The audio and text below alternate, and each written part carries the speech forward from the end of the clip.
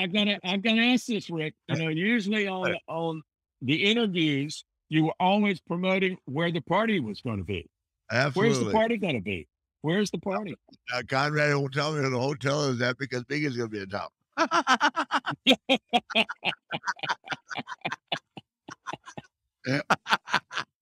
Let's just say like it is.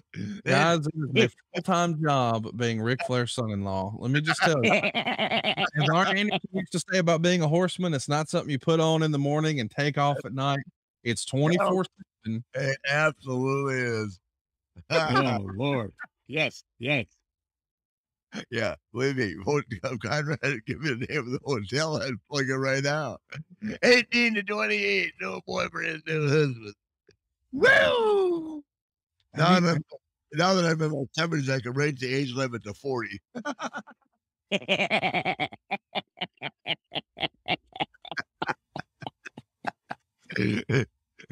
Thirty-one to forty, 31 to forty-five.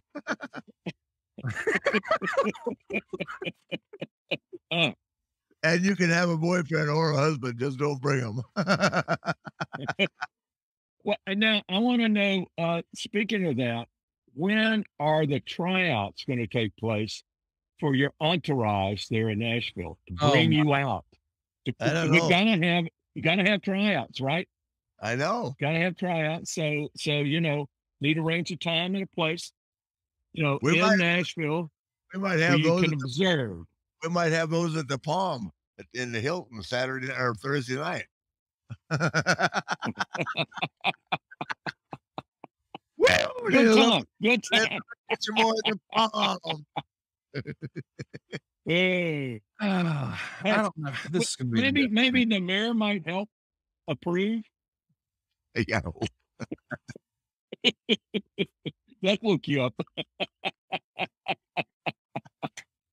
oh Lord. I think we've asked the mayor for enough. I think uh, I mean, Ric, the companions might be a little far fetched. I'm excited about our press conference though, because we are going to be highlighting some charity stuff. We're also going to be uh, announcing some other really fun stuff that we've got coming up, including, I guess we can reveal here now.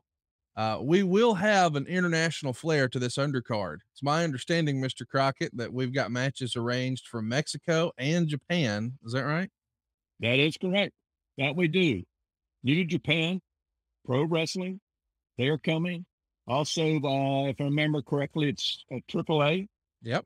Uh, they're go- they're going to be there with you know with some of their best wrestlers in Japan too. So really, internationally in scope, worldwide in appeal.